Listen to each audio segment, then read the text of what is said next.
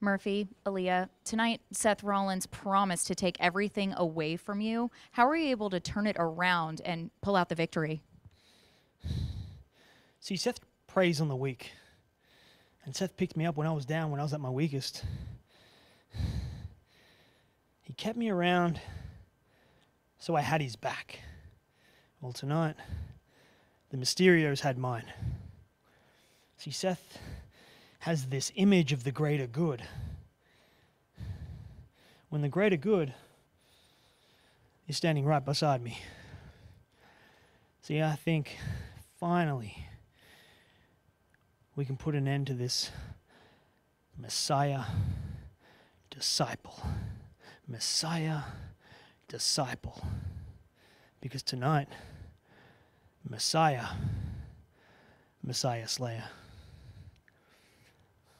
Let's see, Ray.